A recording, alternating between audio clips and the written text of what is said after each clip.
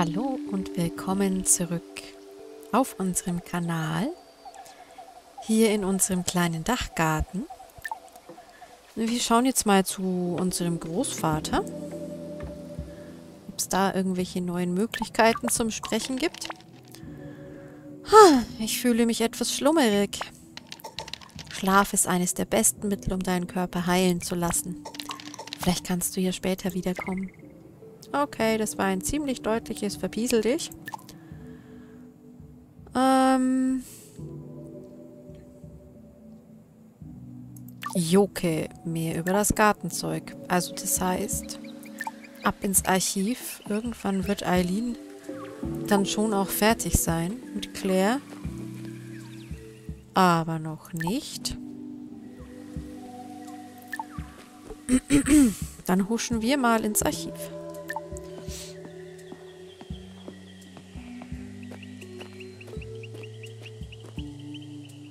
Hallo, Joke. Das ist ein interessantes Buch, aber die Bemühungen des Lektors sind kläglich. Verkehrt gesetzte Apostrophe, typografische Fehler und ein Drittel jeder Seite behandelt Dinge, die schon gesagt wurden. Hm, worum geht es in dem Buch? Es ist schwer zu sagen, gerade wegen des mangelnden Geschicks des Lektors aber es sind nur regionale Aufzeichnungen. Ich hoffe, etwas mehr über Mutationes Flora, Flora auszugraben. Kontext für die Enzyklopädie, verstehst du? Ähm, ich wollte nachfragen. Ich glaube, es war Nonno gar nicht in den Sinn gekommen, dass andere das Buch auch benutzen könnten. Was sind das für Symbole neben dem Namen der Pflanzen? Ah, ja, ich habe sie oft gesehen und mich gefragt, ob ich ihn fragen soll. Aber es gab damals Wissen, das er von Mani erlangt hatte. Mir war nicht wohl bei dem Gedanken, ihn danach zu befragen. Ich werde noch etwas weiter nachforschen, um dir nützlich sein zu können. Ähm, wer war denn Mani? Mani hat eine große Rolle in unser aller Leben gespielt. Aber für deinen Großvater brachte sie ein Erwachen, das alles veränderte. Wusstest du, dass sie es war, die uns angeführt hat, nachdem der Monddrache eingeschlagen ist? Der Meteor. Das war selbst noch vor meiner Zeit. Als der junge Nonno unsere Küste erreichte, war die große Katastrophe 44 Jahre her. Mani führte uns aus der dunklen Zeit heraus, als das Festland, das sich vor unseren beginnenden Mutationen fürchtete, uns im Stich gelassen hatte. Sie hat uns zusammengehalten, geholfen, neu anzufangen und das anzunehmen, was sich verändert hatte. Sie klingt wie eine wahre Anführerin. Das war sie wirklich. Sie hatte ein ganz besonderes Charisma. Nicht laut oder herrisch, aber wenn sie etwas sagte, hörte man zu. Sie hat es nie gemocht, uns etwas aufzutragen. Sie hat uns immer nur eingeladen, nachzudenken und zusammenzuarbeiten. Und so vermute ich, hat sie auch Nonno Dinge gelehrt. Und so versucht er jetzt auch dir etwas beizubringen. Es ist Nachmittag. Und Joke ist weg und ich stehe hier immer noch rum. So total verlassen und allein und kann hier immer noch nicht mehr anschauen. Also hier geht es wirklich hauptsächlich über die Gespräche. Ja, und die schlafen, also schlafen. Die liegen und dösen jetzt süß vor sich hin. Das ist doch schön. Schauen wir doch mal, ob Eileen jetzt Zeit hat.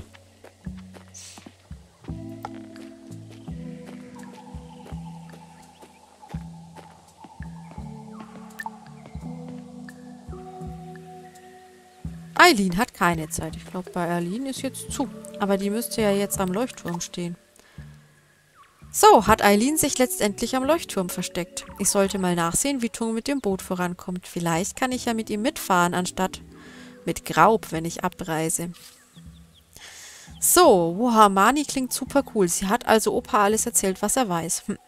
Ich sollte morgen nochmal hingehen. Vielleicht findet Joke noch mehr Garten-Magie-Zeugs. Okay, dann lasst uns mal zum Leuchtturm. Ach, guck, Joke. Kai, meine Liebe. Ich habe mich schon zurückgeschlichen. Ich habe immer das Gefühl, es müsste geschleicht heißen. Geschleicht? Genau genommen verlasse ich mich auf die Pläne der anderen, was meine Mobilität angeht. Aber ich nehme eine frühe Rückkehr gerne in Kauf, wenn ich dafür beim Barbecue dabei sein kann. Eileen war so nett, mich zurückzubringen. Sie ist irgendwo anders hingegangen, falls du sie suchst. Alles okay? Nun, wenn ich ehrlich bin, war sie ein bisschen stiller als sonst. Ich glaube, sie hat... Sie ist nach Westen gegangen, auf der Suche nach etwas Ruhe. Es ist wundervoll da draußen. Dennis und Tung haben sich alle Mühe gegeben, damit ich mit dem Rollstuhl den Spazierweg dorthin bewältigen kann. Oder den Laufsteg vielleicht. Obwohl das leider an Kleidungsvorführungen erinnert. Ist sonst noch jemand unterwegs? Tung ist im Hof, glaube ich. Schön zu sehen, dass er ein eigenes Projekt für sich entdeckt hat. Ja, und da schauen wir dann auch gleich hin.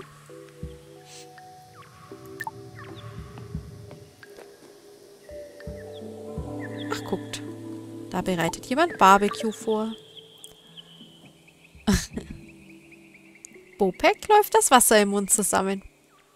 Beim Gedanken an Barbecue voll verständlich. Mmm, lecker. Aber vielleicht noch etwas mehr scharfe Soße? Dann wäre es noch leckerer. Vergiss es, Bo. Mehr kommt da nicht rein. Nur ein ganz, ganz kleines bisschen. Wenn es fertig ist, kannst du reintun, so viel du willst, aber nicht in das, was für alle ist. Aber es schmeckt so viel besser, wenn man die Soße beim Kochen reintut. Willst du denn wirklich wieder ohnmächtig werden? Das wird dieses Mal nicht passieren. Oder willst du, dass alle anderen auf dem Boden liegen? Dann ist niemand mehr übrig, der dich wieder aufhebt. Aber schon lecker.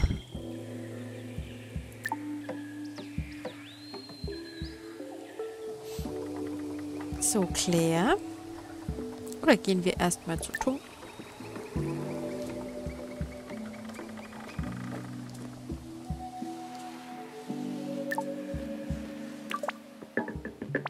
Entschuldige, ich bin etwas verschwitzt. Gestern habe ich mich plötzlich etwas doof gefühlt, deswegen, ich weiß auch nicht. Ich dachte plötzlich, dass ich es vielleicht nicht hinkriege. Das Boot wieder flott zu machen? Das kommt danach. Heute schmürgle ich all die alte Farbe ab. Dennis hat mir gesagt, ich muss die Stellen, die abplatzen, abschmürgeln. Aber jetzt, wo ich angefangen habe, möchte ich das ganze Ding abschmürgeln. Ich krieg die Seepocken auch nicht anders ab, glaube ich. Ein neuer Anfang? Genau. Dennis hat mir geholfen, das richtige Schmirgelpapier auszusuchen. Äh, ihr beide scheint euch nahe zu stehen. Er hat mich quasi miterzogen. Als ähm, mein Vater uns verlassen hat. Mori hat sich um Mama gekümmert. Wir wussten ewig nicht, ob er verschollen war oder einfach nur weggegangen. Und ich schätze, ich bin damals ein bisschen wild geworden. Wild? Als ich fünf war, war ich größer als meine Mutter. Mit sechs größer als mein Vater. Wenn ich wild werde, ist es schwer für Leute mit glaube, ich jage ihnen dann Angst ein. Aber Dennis ist winzig. Er hat mich immer abgelenkt. Ließ mich Tests an den Papu-Wurzeln machen. Und ich durfte ihm helfen, Dinge zu bauen und zu warten. Also, ich weiß nicht. Sei nachsichtig mit ihm, wenn du kannst. Okay.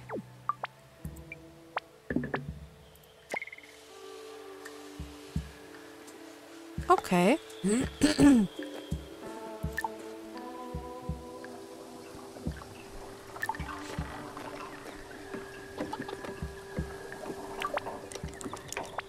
Ich kann jetzt nicht see reden, Seekrümel. Meine Eileen wird jede Sekunde hier sein. Jede Sekunde.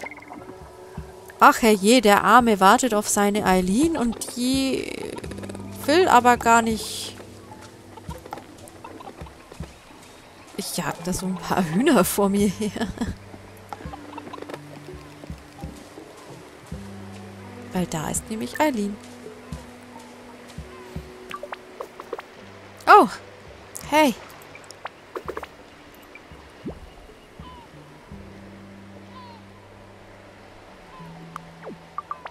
Alles okay? Oh. Klar. Ich liebe diesen Ausblick. An klaren Tagen kannst du kilometerweit gucken. Oder sagt man auf See Meilen? Meilenweit. Auf See sagt man Knoten. Komisches Wort dafür. Knoten fühlt sich irgendwie so zusammengeschlungen an.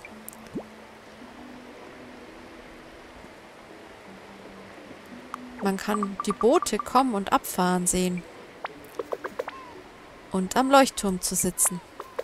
Es fühlt sich an, als würde man auf alle aufpassen. Weißt du, was ich meine? Wovon träumst du, Kai?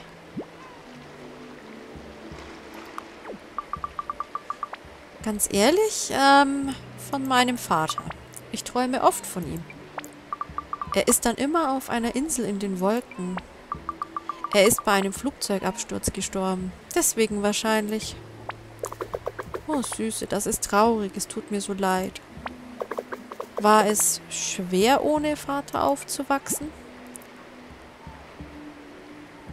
Äh, ich kenne es ja nicht anders.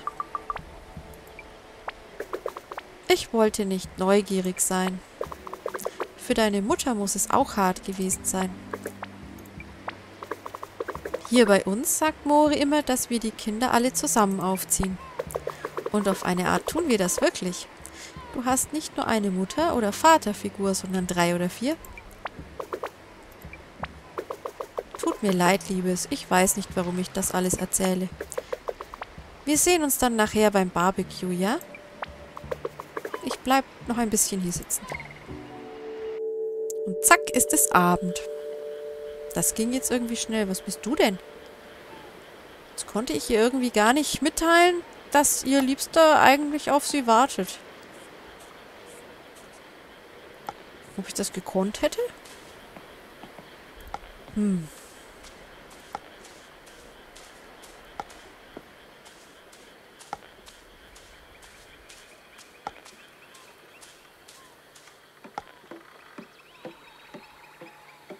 Boot ist jedenfalls weg. Er ist noch nicht wieder da. Tung ist auch nicht da. Kelea ist auch weg.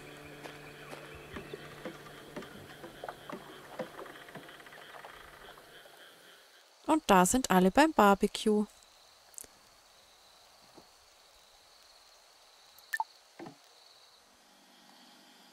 Anrufen kann ich Mama noch nicht.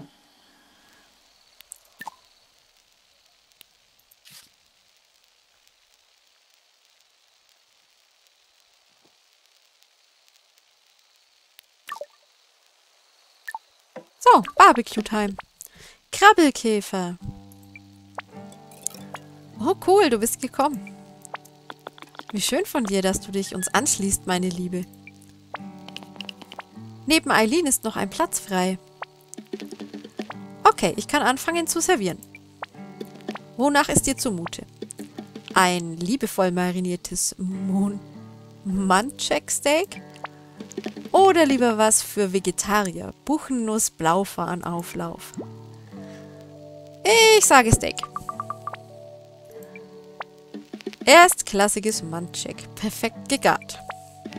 Keine Sorge, wir waren sparsam mit der scharfen Soße. Buh. Okidoki. Hat jeder etwas zu essen? Oh nein. Was ist los, Kumpel? Er kann es dir ansehen.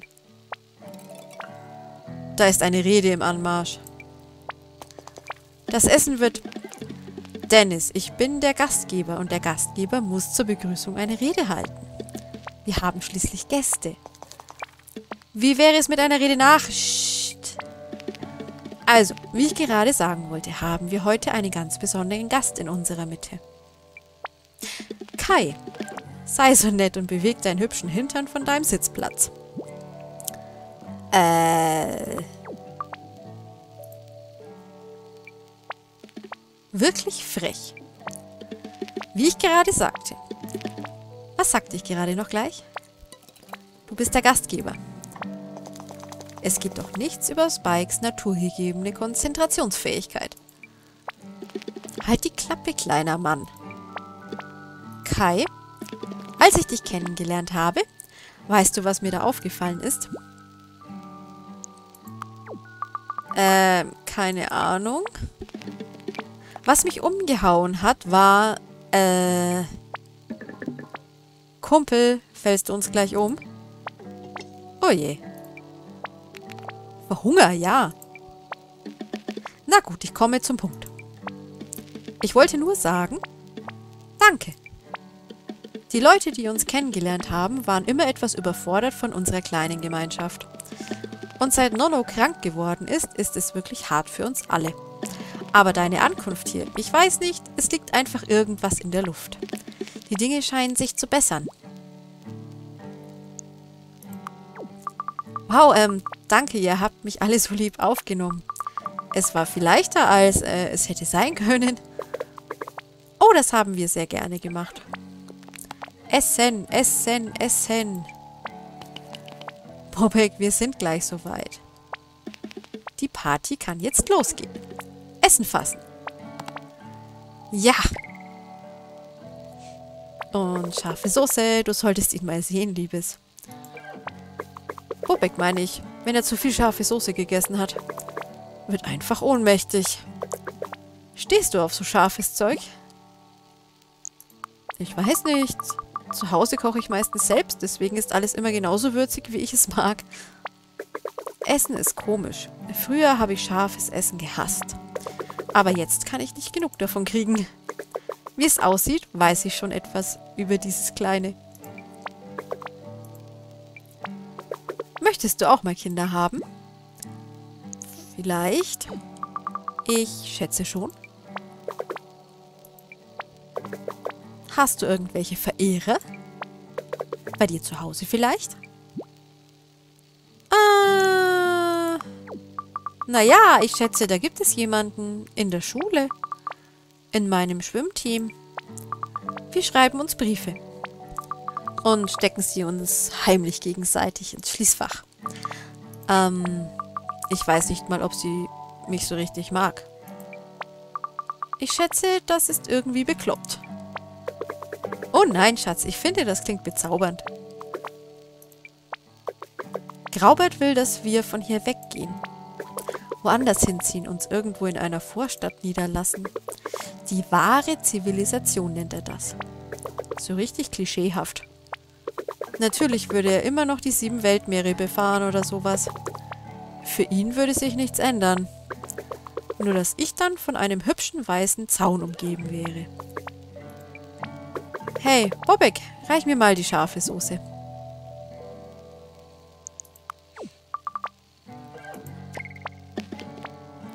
Das war vor meiner Zeit. Du bist älter als ich, viel älter. Ich meine vor meiner Zeit in Mutatione. Wann bist du nochmal angekommen? Vor 25 Jahren im Sommer. Es war der erste richtig heiße Tag. Ähm. Okay, wir können mächtig gutes Gedächtnis in die Liste deiner Eigenschaften aufnehmen. Claire muss damals 15 gewesen sein, du meine Güte. Nun, dann war das zwölf Jahre vorher. Vor 36 Jahren ist Nonno hier angekommen. Damals war ich quirlige 38. So eine lange Zeit. Es hat sich angefühlt, als würde der Sommer niemals enden. Ich würde behaupten, dass einem Dreijährigen alles endlos vorkommt. So viele neue Freunde. Die schmutzigen Hände auf all den weißen Kitteln. Eine seltsame Zeit. Ich würde sagen, ein Ründchen bleiben wir noch.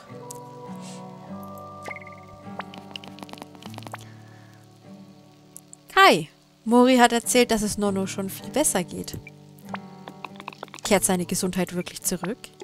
Na los, Kai, sag's ihnen. Er saß in der Küche und hat Tee gemacht. Erstaunlich. Das beweist, was für eine enge Verbindung zwischen Körper und Geist besteht. Ja, das hat offensichtlich mit deiner Ankunft zu tun, Kai.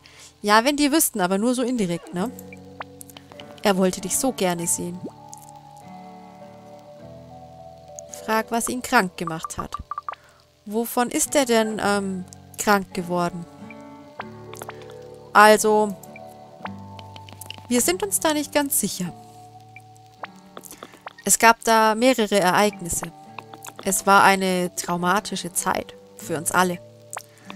Wir haben das alles etwa ein Jahr später hinter uns lassen können. Aber Nonno hat sich irgendwie nie erholt. Was für Ereignisse denn? Genug trauriges Gerede. Soll mir das Gastgebertum gelingen, muss ich einen Toast ausbringen. Oh, jetzt wirst du zum Dichter oder was? So stimmt, das hat sich gereimt und ich habe es voll falsch betont. Oh ja. Wir werden hier vielleicht dicht, aber du wirst noch ein echter Dichter. Hier haben wir doch etwas, über das wir ins Schwärmen geraten können. Die echte Wunderheilung einer, einer chronischen Krankheit. Also, darauf hebe ich mein Glas. Auf Kai. Und auf Nono.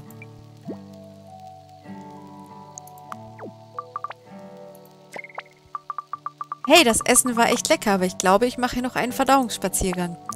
Ich werde ganz schläfrig, wenn ich hier so satt gesessen herumsitze. Ach, bist du sicher, Krabbelkäfer? Lass dem Mädchen doch etwas Ruhe. Wir sind nachher immer noch hier. Komm wieder und häng mit uns ab, wenn du willst. Zung und ich brüten ein paar Pläne aus. Klar, danke. Mach ich. Ja, meine Lieben, und ich würde sagen, mit dem Barbecue beenden wir diese Folge und vielleicht hängen wir in der nächsten Folge noch ein bisschen mit Tung und Miu am Barbecue-Platz ab. Ich danke euch fürs Reinschauen und bis bald.